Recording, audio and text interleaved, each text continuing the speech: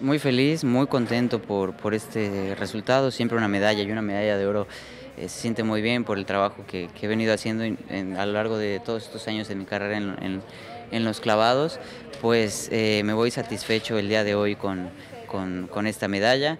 Eh, poco ahí el primer clavado no me salió como hubiera querido, fui remontando, al final cumplo con el objetivo que es llevarme la, medalla de, oro y pues, pues muy contento.